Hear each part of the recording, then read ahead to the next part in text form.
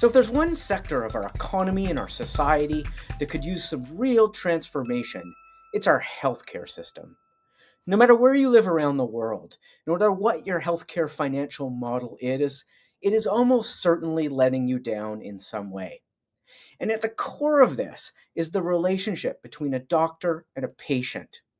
As doctors have become busier and they've been tasked with more and more responsibilities, they are spending less time with us, their patients. In the US, the average doctor's appointment is only seven minutes long. In South Korea, it's two minutes.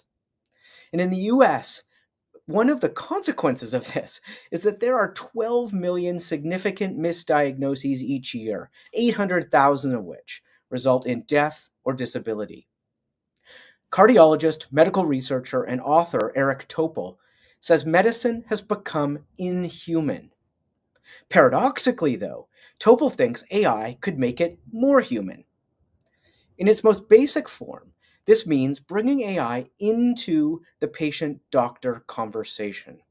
This could mean AI transcribing our conversations and allowing a doctor to pay attention to us rather than typing on a computer screen. It also opens up the range of capacities that they could be assisted with by AI. This could be making our future appointments, following up on our treatment plans, or perhaps more powerfully, helping with diagnoses itself. A doctor has very limited views into our current condition. An AI might have far greater visibility. Just take radiology scans. Topol says an AI could add superhuman eyes to the doctor's capacity. When a radiology scan is ordered, a radiologist is typically told to look for one specific thing. But an AI could look for everything and would have access to potentially rich and detailed views of our health history. Retina scans are another example. An AI can detect everything from diabetes to kidney disease to potentially Alzheimer's just by looking in our eyes.